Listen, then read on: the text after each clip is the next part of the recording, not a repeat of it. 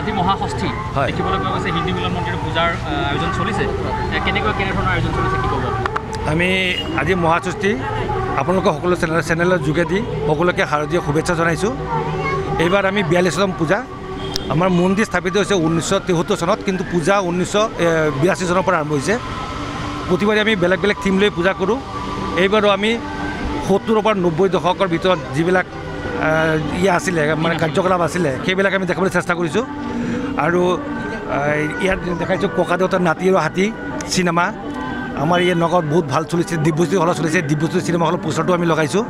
আৰু ভিতৰতো আমি এই ৰামায়ণত কেনেকৈ আমি ৰামায়ণ চাইছিলোঁ টিভি এণ্টেনা ঘূৰাই থাকোঁ গৰু গাড়ী গৰু গাড়ীত আমি ঘূৰা ফুৰা কৰি থাকোঁ।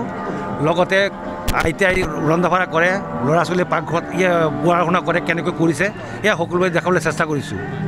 দুৰ্গা পূজাৰ সময়ত দুৰ্গা পূজা মূৰ্তি বনোৱাৰ সময়ত স্কুলৰ পৰা ল'ৰা ছোৱালী গৈ মূৰ্তি বনোৱা চাই থাকে। সেইটো আমি দেখাবলৈ চেষ্টা কৰিছোঁ। বায়স্কোপ এইটোও দেখাবলৈ চেষ্টা কৰিছোঁ।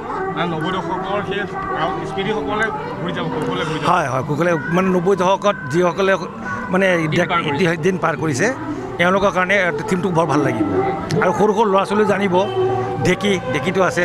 সময় দেখাবলৈ চেষ্টা কৰিছোঁ। হয় চেষ্টা কৰিছোঁ।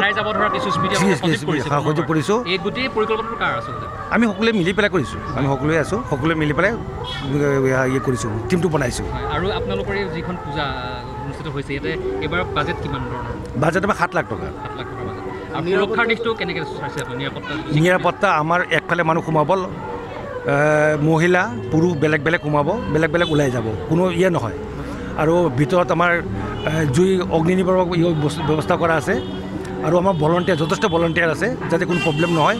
চি চি টিভিও আমি ৰাখিছোঁ চি চি টিভিৰ দ্বাৰাও আমি চব কিছু চাই থাকিম যিকোনো খবৰৰ বাবে যোগাযোগ কৰক seven zero' double nine zero' one seven double three zero' অথবা seven zero' double nine zero' one seven double nine zero' 弄不着。